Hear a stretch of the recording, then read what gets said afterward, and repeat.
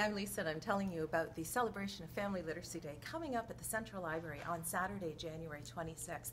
Our children's library is always an amazing place to come with a wind tunnel and sand tunnels and a Lego wall and all kinds of activities all the time. But Saturday, January 26th is going to be amazing because London Public Library, with our community partners, we are transforming the entire main floor of the library. There's going to be a giant playground right in the center of this space. There's going to be face painting. There are going to be activities.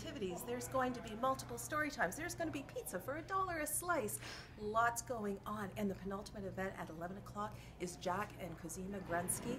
Great musicians coming to the Wolf Hall for a free performance at 11 o'clock. You can pick those tickets up at 10. Did you know Jack has won four Junos for his children's music?